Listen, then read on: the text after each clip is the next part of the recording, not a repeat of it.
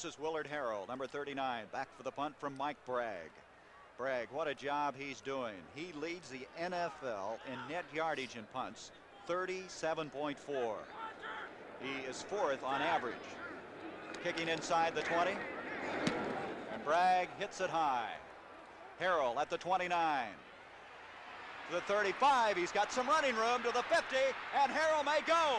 Willard Harrell He's is gone. going to take it for the He's gone. And that is the first return of the year by the special teams of the Cardinals for a touchdown. Gary, you told me before the game that the specialty team coach mentioned to you that they were going to break one. Didn't you tell me That's that? That's exactly right. And they have lived up to that billing.